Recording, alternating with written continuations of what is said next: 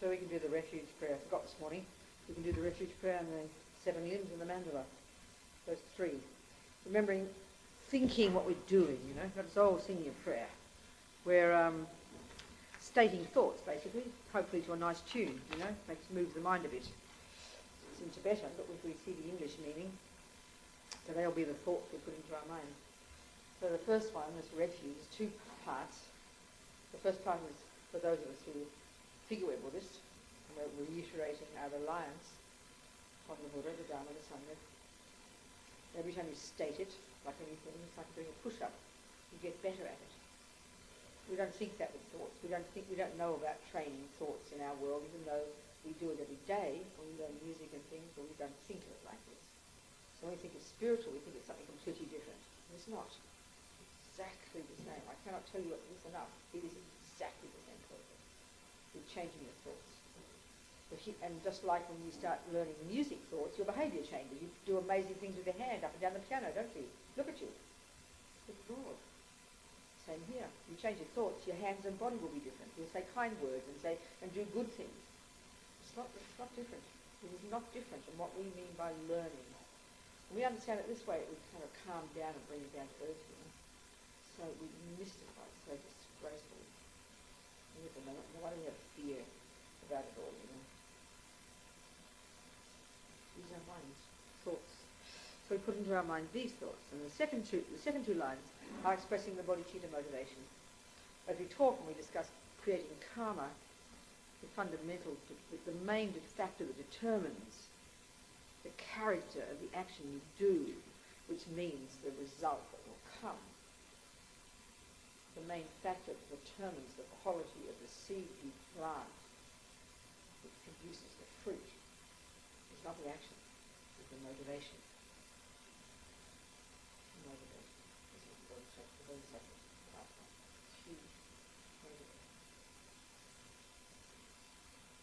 So here we're expressing our bodhicitta motivation. To do, it's a reason, putting it like we, would say, it's a reason for doing this action, sitting here, listening to this. Our reason is, our goal is, our purpose, our motivation is this. Is that we want to become a Buddha, is the long term, so we can be a benefit to sentient beings.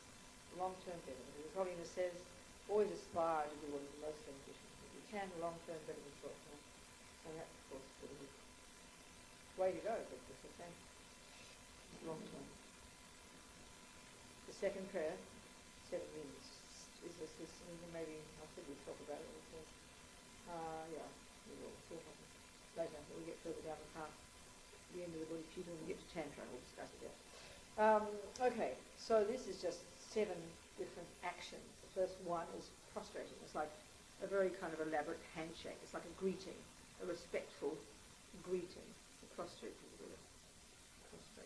bowing the head, shaking hands, greeting the person politely.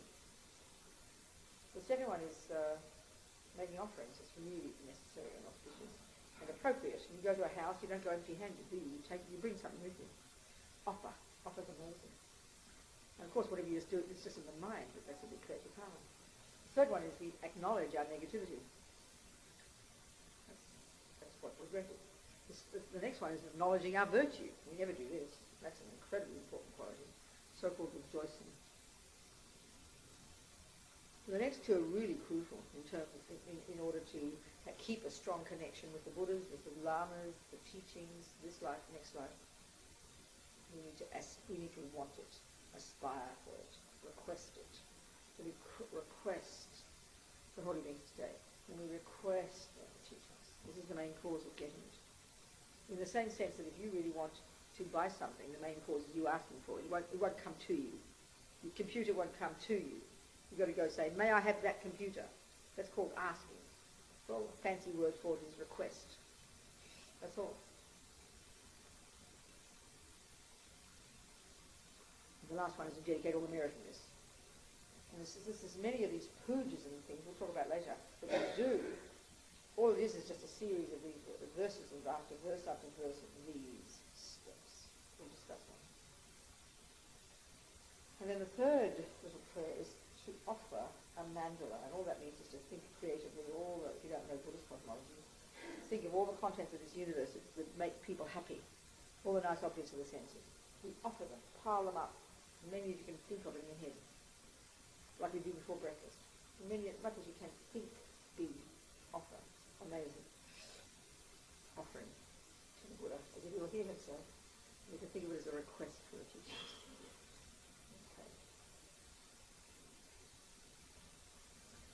Sangye charang soke chognam la jang chobaru dagni kyab suchi jagi jinso gipe sonam ki drola penche sangye dropasho sangye charang soke chognam la jang chobaru dagni kyab suchi jagi jinso gipe sonam ki drola penche sangye dropasho Sangye Charan Soke Chom Namla Chanto Maru Dagni Kyam Suchi Dagi Jenso Gipe Sonamki Drola Penche Sangye Dropa Shom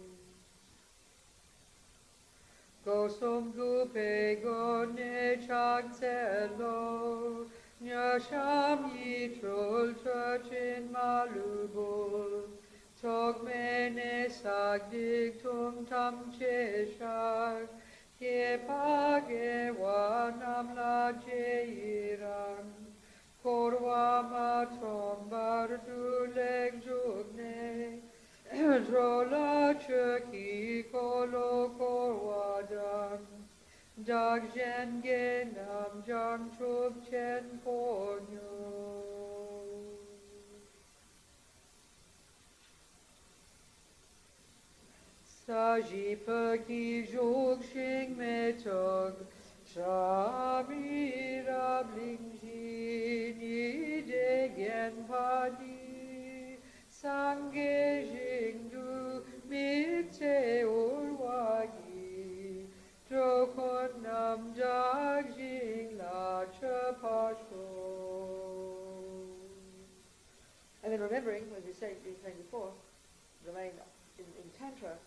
the very essence of the meaning of the word offering, the word puja, offering, shur, in Tibetan, is to visualize the recipients, here the Buddha, delighting in the offering, receiving it. So imagine it.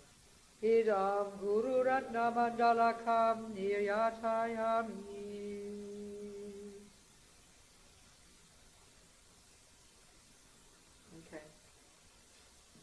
So what we've been doing is going through these days, this last couple of days, taking all the points we've been discussing and presenting them in this orderly way according to this course to Buddhahood. Our teacher starts us to prime our minds with this little meditation he cobbled together, like these 18 bullet points, to think about the advantages that we do have and the disadvantages that we haven't got. Like we're not born in a war zone, we're not, not born an animal, that's a good start. We're not born crazy yet, not totally.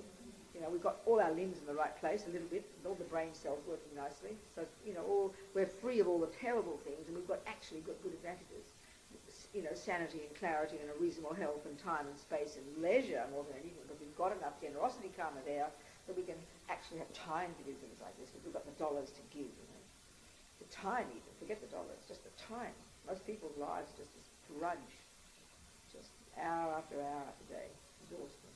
No time, no space for anything. So it's miraculous that we can lift our head above it and access these, and especially, of course, the most ama- amazing advantage that we can access these, these thoughts, these virtuous thoughts, you know, just because we practice them in the past. That's how come they pop up in our mind and we pay attention to them. Unbelievable, so precious. So we want, don't want to waste this precious resource. Don't just sit on our laurels. All this is the product of hard work. So when we think of it this way, you don't want to waste it because you know, you see, you remember the hard, you don't remember, we can imagine the hard work we must have done to produce these results. So I must not waste it. That leads us to the next point for our teacher. Into, into junior school, grade one. Now we start taking Buddhist teachings. It's all Buddhist teachings, but our teacher kind of cobbled that together. This is now taken from all the different texts, all Buddhist teachings. First one, impermanence. But not subtle impermanence, which is very fascinating. Gross impermanence. Not just impermanence of cups and toilets, but of me. Gets us right between the eyeballs. And his, his agenda is a wake-up call. This increases our wish not to waste this life, because I realize I will die. Lord knows when. Oh my God, what can I do? Galvanize into action. So who then we think about to increase our wish not to waste this life. We then think about the suffering of the likely possibilities of types of rebirth, which is taken from all of Buddha's extensive explanations of different beings in the universe. With this increased wake-up call, no way do I want to be born as a rat or a dog or a, you know, not to mention the other ones we can't even see. Like to think about all this, really think about this. It seems so abstract. Because we, why? Because we're so desperately cling to our self-existent permanent need of being a human, female, fat, Australian, this, that, whatever it might be. We're stuck with that picture. We're obsessed with being that acorn. Polish ourselves every day, change our hats, hate ourselves because we're a fat acorn, try to be a nice acorn, cover up the wrinkled acorn, desperate to stay a nice acorn, like a joke, tunnel vision, ridiculous. Now I've raved on so much I forget what I was talking about. Thank you very much. Perfect human rebirth, death and impermanence, lower realms. So, you know, think about how, and, and this is, okay, I want, okay, so, okay, I'll keep going. I won't go on. Okay, I'll keep going. So then, whom can I turn to? Where's the doctor? Please, I'm desperate. I don't want to like, you know, it's like, you know, when you start seeing all those movies about the cancerous the holes and the lungs. Oh my God, I don't want that. Where's the doctor to give me the methods to know how to stop, to not get cancer? That's all it means. Healthy fear, healthy, reasonable fear. Wake up call. Because we need fear because we're as thick as posts, you know, stuck in our self-existence, stuck in our permanence, stuck in our narrow mind. Got to use kind of rough methods to wake us up. And this is what will lead us. So now we get to turn to the Buddha, the doctor, check when he's a decent doctor, and want his methods because we're sick of suffering the Dharma, the Sangha, like we talked. Now we begin to practice. Now we finally begin to practice. Each of these chapters priming us to begin to practice. Now you put your money where your mouth is and you abide by this medicine. You take the medicine, you apply the remedies, is what it says, which is the, the remedy of, of, of karma, abiding by karma. Of course, it's a massive learning for us, but it's a brand new concept. But fundamentally, everything you think and do and say is the main cause of what my mind experiences in the future. I'm, I'm the boss. I'm the creator. I made me. What I do and think and say is the main cause. It's not a complicated concept. So get our head around it, that's all. So we abide by the laws of karma. We don't, and basically the simplest level of it is, is this passive, seemingly passive, refraining from harming. Good enough. Good enough. You live your life refraining from harming, minding your own business, backing off, leaving sentient beings alone. Get out of their heads. Don't kill them. Don't lie to them. Don't steal from them. Don't cheat on them. Don't say rude words to them. Don't talk about them behind their backs. Don't rabbit on to them about nothing. Don't use harsh words. And don't lie to them. And then control your mind, the beginning to control your mind, the grossest level of three main delusions. Give up the really extra gross craving. Give up the really extra gross level of anger, which is ill will. And give up the really gross level of ignorance, you know, narrow-minded fundamentalism If you just live according to those simple 10, checklist of 10, it is not complicated. We make it complicated. We make spiritual practice. 30 years later, you're still practicing. I don't know what practice is. I don't know what I'm supposed to do. I don't understand anything of this. We're still living in fear and panic still. But we are ridiculous. It's not complicated. 10 things we ask you to do. That's it. You just want to be, you know, play safe. Just don't do those 10 things. I swear to you, it's hilarious when you discover how simple it is. It's just tough to do it, but it's not complicated. Ten things. Ten things. Some of your body, some of your speech, some of your mind. If you just did this, you can die with a happy mind. You, you guarantee you set and sow the seeds to get another decent birth. And keep on bottling. But you can do more, like we're talking. You go to high school and get to the root of the problem. The delusions that, that, that, that, that inform our actions. They're the root cause. Then we start to go into those. Learn to meditate, get some concentration, learn Buddhist psychology, this is crucial, and then start to do the toughest job of all, which is the real job of being a Buddhist. Now we really become a Buddhist. Morality is not unique to the Buddha. But his model of the mind, pretty, pretty incredible, in my opinion, obviously. Pretty, if you look into it, and quite unique. You've really not got to gloss over it. Just, we all know words like love and compassion. Oh yeah, yeah, ego. Oh yeah, yeah. But he's got his own precise definitions of these things. And They're fundamentally, radically different from the usual way we think about the mind. So we've got to unpack it and look into it so carefully. And if you don't know what, you know, because the point he's making here, as we know, this is an outrageous point, is that these negative states of mind, this, this, this technical term used to refer to the, one of the three categories of, of states of mind in our mental consciousness, positive, negative, neutral, there's no fourth category all our states of mind, all our emotions, all of our psychoses, all of our insanity, all of our, all of our, um, all of our, you know, tendencies all come under these three headings, either positive, negative, or neutral.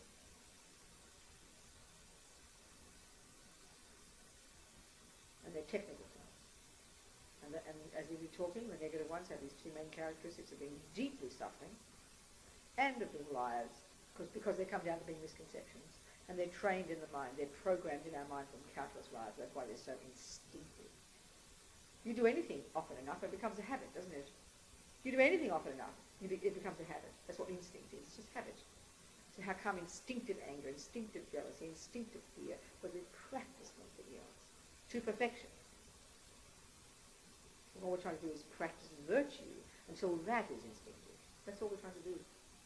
The first step is to unravel and unpack the mind and get to see clearly and vividly these, these neuroses and, and, and remove them from the mind because that's Buddha's point. They're adventitious. They do not belong. They're unnecessarily, they're unnecessary embellishments. They're not necessary to be a being, a person. Whereas our view in the world says utterly you'd be abnormal if you didn't have anger. You'd be abnormal if you didn't have jealousy. That's how, how insane our models mind easy to, we can be forgiven for thinking this. So we've got to look really carefully to what Buddha's saying, to just swallow it whole. It does, it's not easy to see how anger can be removed from the mind. It sounds insane. We can't even imagine a person like this. That we think they're, in, that we think they're insane. We've got to think of it so carefully. Understand it by looking, first understanding the, the definitions of these states of mind and what Buddha says about them and there's extensive teachings and commentaries over the centuries, texts that are written about it's quite subtle how the mind works. In fact, let's look a bit more at this before we keep going on the bodhisattva part.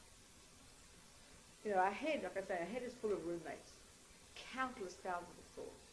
Thousands, all the time, never stopping. In fact, so many, they're just like, it's like this, what's that machine they, they call, you put it on, it's called white noise seems to me like the most dreadful thing, you know, because it just proves whatever you project onto it makes you happy, isn't it? Actually, when I was doing in, in Stradbroke, Stradbroke Island, I do like a month editing of the year. Someone kindly offered me her house in Stradbroke Island, just off the coast from Brisbane. Gorgeous, overlooking the ocean. You know, it's my ideal of a nice place, with the ocean. And a bit distant from the ocean, but you can hear it. And then you, you listen to it, and you think, oh, so wonderful the ocean. You know? But actually, if you hear it, and then you think of it, you think of a freeway exactly the same sound. It really is. It's hilarious. So it just proves, you know, what, how our minds project other things. Anyway, this is thought. This white noise machine thing they talk about. Well, our mind's like that. Or it's like the roar, I always think of it, it's like the roar of a football crowd in the distance. Like if you live a half a K from the, the MCG or 5Ks, who knows how big the noise is. It's 100,000 people at the grand final when the Swannies win. The Swannies are going to lose this year, I think. Um, it's just this noise, isn't it? Big noise. But you know intellectually it's 100,000 people all shouting at once. But you can't hear any one of those voices, can you? Because it's all merged together. But if one voice is louder than all the others, that's the one you can hear. Well, that's like our mind. The ones that come to the surface are loud most, and that's when they're really screaming, like the depression voice and the anger voice and the jealousy voice. They're the ones we can hear. But they've been going on for so long, and the rest of them are just this noise in the distance because, our mind is never stopping. Never stopping because of the habit of countless of junk. So aren't we lucky that we're not like some poor human beings who are born as a human but have these all these insane, paranoid, delusional, insane thoughts the whole time. No one taught them. It's old junk from the past. I, I mean, we've got all that junk in our mind, but it hasn't ripened. Aren't we lucky? It's all down there. It's all in there. You know? So this is what we have to do. We have to unpack and go into this mind. Unconscious. Buddha's view of unconscious leaves you for dead, I tell you. And this, so the thing is, the thing to see, the key to success in understanding how we can the, how we can become enlightened, how we can achieve nirvana, which is the ceasing of these delusions, the ridding of them from your mind.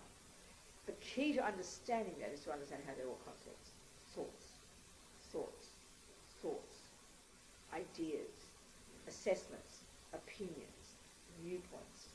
This is the key to success, to get this. So there's a cup. We can hear that's a viewpoint, a thought. But screaming in terror with your eyes wide open in paranoia, I hate you, I want to kill you. We don't think of that as a thought. We think that as a feeling, a desperate emotion. But it's obvious it's thought. If I'm screaming and having an angry fit, and you know, you, you, you, put your MP3, you put your recorder on, and you record me and then transcribe me, and then a, a person who's a bit passive aggressive doesn't shout and yell, but has lots of crazy negative thoughts, and there are people like this. Remember that guy recently, the one who killed all those kids? People just said he was weird. He didn't go around screaming and yelling. But we can deduce by that action of murdering all those people that he had extremely angry thoughts. Don't put fancy terms on it. It's called violent, raging hate. So you wrote down his thoughts and he cared to write them down for you, and you shared those two pieces of paper. The person who's screaming and shouting, looking so angry, probably has mild angry thoughts if you read the words they're saying. If, if you compare with that guy, he just look weird. So thought, obviously anger comes down to the thought. Obviously. And this is the point, so simple. All the stuff that comes out the mouth, whether it's screaming and shouting and yelling or whatever, is thoughts, including love and compassion. It's thoughts. And we can see this, then we can kind of do the analysis with the microscope of our mind of all those thoughts. We can start to unpack them, and we can, and this is the point, this is the point, all these roommates in there, all shouting and yelling together. But mainly, isn't it, the ones that come out and the ones that, you know, are all the bad ones, the neurotic ones, the, all the ones that are neurotic eye-based, the hurt, the, the pain, the depressed, the jealous thoughts. They're the roommates that are all making a song and dance. And the poor little virtuous thoughts like the kindness and loveless and, love and compassion, they're all hiding under the bed and in the cupboards because they're scared to come out. I think of it like that. And so we can't hear those. They're scaredy babies. All the other guys run the show. So that's why we think we're so horrible. Because all we hear is the negative thoughts. We have to start listening to these thoughts and, and being analytical. That's the point. We have to be analytical about them. That's what being your own therapist means. When you have this basis of Buddhist psychology which describes the character of, the, of this mind of ours in his particular view, then we use that, of course, as our way to analyze when we hear the thoughts. So when you bring your own therapist, you've got to be quite tricky to hear all the thoughts, to hear them clearly, what they're saying. And then you have to start seeing how they're lies. Horik might have punched me in the nose. He might have looked, come home late from work. He did come home late from work, in fact. But because I've got a strong tendency to fear and jealousy, then you can imagine my thoughts, right? All the stories about what I'm saying. If I wrote it all down, I'd have a novel written before he gets home late, wouldn't I? Wouldn't I? And if I'm really trying to be my own therapist, I'd hear them all as I'm sitting at the kitchen, you know, or you know, I'm a good wife and he's the husband earning the money. Let's just say, you know. But you know your mind runs rampant. And you imagine all the things he's doing, and you've heard about that secretary. I mean, all these cliched stories. You're going crazy in your mind. And the point is, you don't think you're making it up. You think it's real. And then when he comes in, you slam him with all these things. And you did this, and you said that, and you this, and you this. And he says, uh, hey, Robina, I didn't. Yes, you did. You should be relieved. You should say, oh, you didn't do it? Oh, what a relief. Who says that? We don't. Because our thoughts are gone mad. And, I, and this is the point. Bad enough, as Lama says, that I'm seeing him. There's some truth there. There's some element of truth. It's not complete paranoia. He does come home late. He maybe does look at the secretary. But he really does love me, you know. This is say. But bad enough that I see him wrongly. But the worst thing is I believe that I'm right. I believe that what I see is true. Because my thought, this is the shocking part. My thoughts the, character of my thoughts, my jealousy in this case, actually completely fill my, it's like I pick up my jealousy glasses and I put them on and now he, he appears a certain way.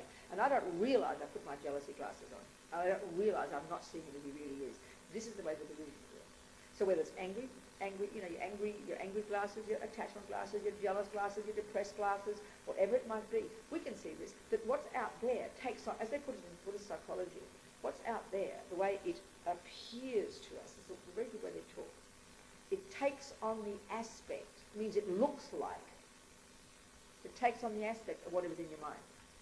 So you've got angry glasses on, we know how the world looks when you've got angry glasses on. When you've got your depressed glasses on, we know how the world looks then. Hideous, grey, nothingness. We know how the, how the world looks when you're full of attachment and excitement and you're in love with somebody. Everything shines and is crystal clear and sharp. Even ugly people look nice. Because attachment glasses make things look nice, which is why we love it. It triggers nice feelings in the body. But these are all liars. There's some truth there. There is a chocolate cake on that plate. There is some truth there. He did come home late. But then we embellish it. We, we, we embellish it. That's what delusions do. They take something that does exist, like a cake, like a husband who's late, and then we embellish it. And then we believe our story is the objective truth. And that's why if you're a very angry person, and then someone in the shop just kind of looks wrong at you, you probably want to sue them for abuse. And because, and this is the, the thing that is so shocking, that we really have to have the intelligence to distinguish between, is what a person from their side actually did and how we perceive it, what they did.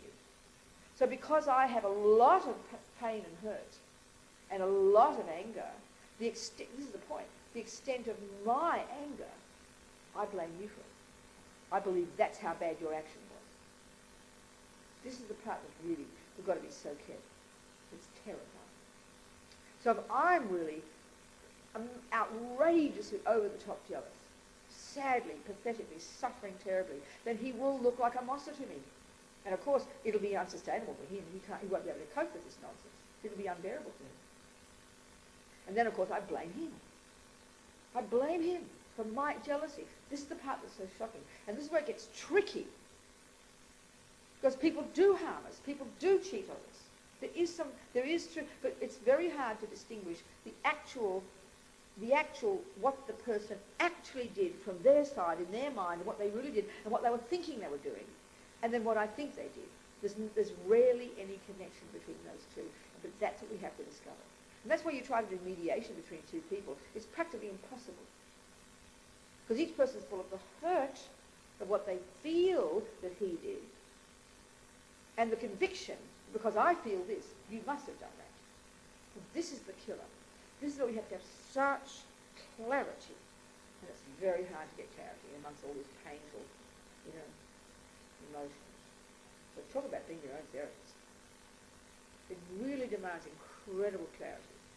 You can only start with the clarity of your mind. Seeing how your mind is exaggerating and distorting. Then I can begin to look at what you actually did.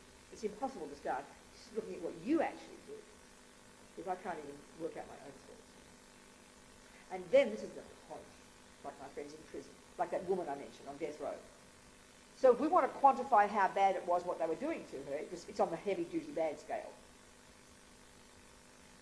Because she could change her mind, it wasn't such suffering.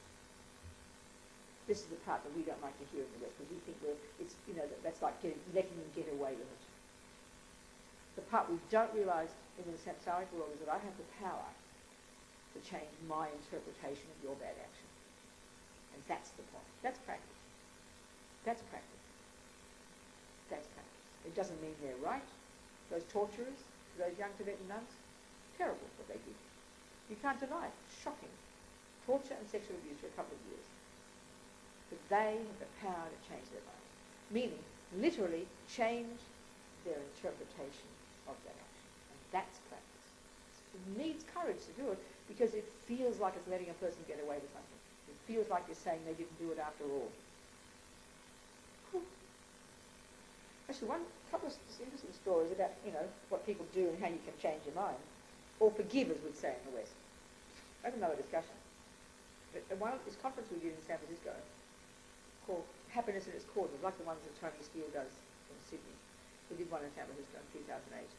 And, we, and one of the things was a piece about um, one people talking was about what we call restorative justice. And one woman who's a lawyer, she was talking about what she's doing in Oakland with all the young black kids.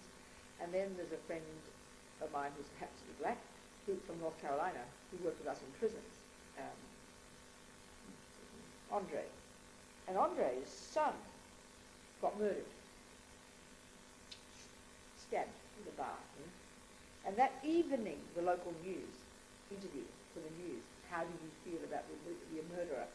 He was in tears of compassion for the murderer of his own boy. He said, how, he said, his suffering is just beginning. How can I not have compassion for him? His suffering is just beginning. They, you know, because he works with young black men as a mentor.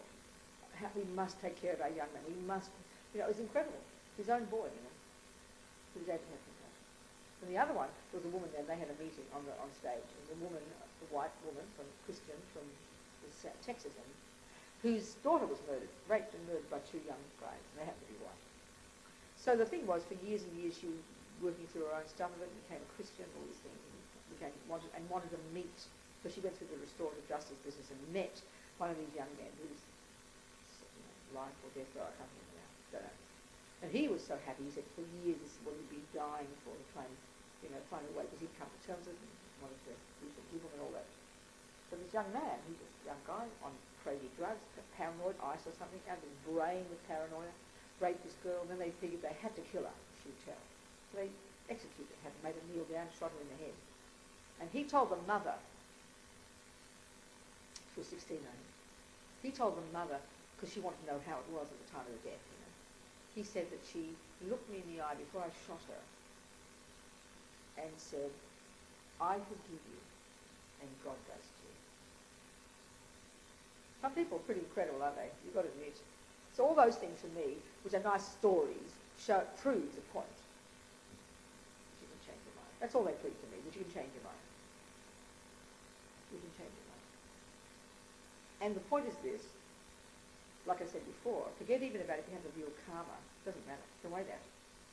Just to have this incredible, grown-up, mature, self-confident ability to see clearly how your anger and your jealousy and your depression and your fear and your rage and your hurt are what cause you suffering.